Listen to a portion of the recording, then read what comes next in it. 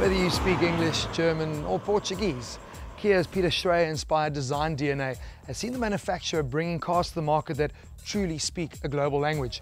The next vehicle to hit our shores is the Kia Rio. Now, the B segment is super competitive in South Africa, so for Kia SA, this car has to look the part. And the American design team that penned the new Kia Rio, they went with three key things, urban, funky and dynamic. This looks pretty urban to me, the streets of Lisbon. It looks incredibly sporty. Let's find out just how dynamic it is.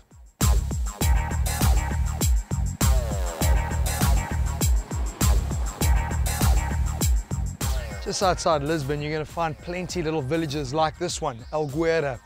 They are just steeped in history, you know, walking through these cobbled streets. Hey man, a guy feels a bit nostalgic. It seems like everything's just been frozen in time. The same can't be said for Kia though, because they are fast forwarding to the future. Chatting to the guys, you know, when we went through that horrible economic downturn, Kia was on the up and up in terms of their sales, pushing nearly 30% growth year on year. This year, 2011, they've set themselves a target of 2.3 million cars and they are ahead of the game already. What's happened? What did Kia do? What have they changed? Rio is totally new to market, but already it's got the attention of all the right people. It's uh, won a German Design Award and an ISO award because of its environmentally friendly technology that's been introduced into it. The Koreans are the first to admit that they've been a bit slow on the uptake and certainly a lot of the other big brand players are way ahead of them in the eco game. But so they're trying to make that right with the Rio. So you're going to find things like start-stop technology has been incorporated into it. And they've done what everyone else is doing, gone with the small capacity engines, downscaling the Rio. Only two engines coming to SA, both of which are petrol, a 1.2 and a 1.4. I'm not to lie to you, I was like, hmm, a 1.2, because it's quite a big car, the Rio. You know, it's not a little Picanto runaround and we thought, well, let's let's take 1.2 for a spin. And I must admit, I'm pleasantly surprised. 64 kilowatts seems to deliver itself in a really fun and feisty type of way. It's got a nice gearbox, comes with a five-speed. The 1.4 has got a six-speed manual, and it seems to handle really well, very easy to drive, even though we're on the wrong side of the road. I've thoroughly enjoyed it. I think the bit that's going to get most people talking though is the interior on the Rio because it's just chalk and cheese. I mean, from the outside styling to interior, you cannot compare four-year-old Rio to uh, the brand new one. Interior, they want upmarket is what they said. They want people to get into the car and go, wow, this isn't B segment, this feels more like a C or D segment car.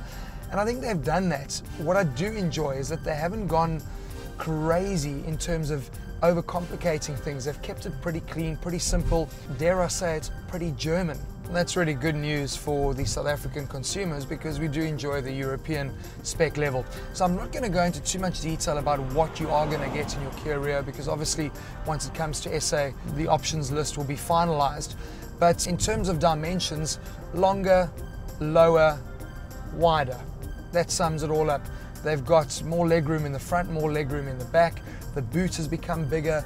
They reckon it's now class leading when you fold the seats down 930 odd litres. It's got a real big car feel to it. And they were saying that it's going to be a dynamic drive and sporty, and that's what they're looking for. The roads in Portugal, very windy, very scenic, very beautiful and we've been having lots of fun and I, and I am quite impressed because this little 1.2 litre, only 64 odd kilowatts, doesn't seem to be too afraid to get going. Steering response feels really good. I didn't enjoy the Kia Picanto, I didn't like the feel of the steering in that, but they've really got it right in this one. So it is dynamic, it is sporty. I would still like to see them slapping a little turbo in and really appealing to the SA market need for a really dynamic and sporty car. I think this is going to do really well in SA. The 1.4 would be my pick, because I think 1.2 could be getting a little bit light on the power side on the reef. So what happened? How did things all turn around and change for Kia? Well, I think if you think back to the Kias of old, let's be honest, they never really had any core brand values, other than obviously being a value for money proposition to consumers. 2006, Peter Schreyer leading the design focus, Kia came up with a strategy called the power to surprise. And suddenly their cars became exciting, desirable, aspirational even. I do think, however, they need to come up with a new strategy now because power to surprise? Are you kidding me? I'm not surprised by this. You look at what they've done with the Rio, this has become what you expect from a Kia.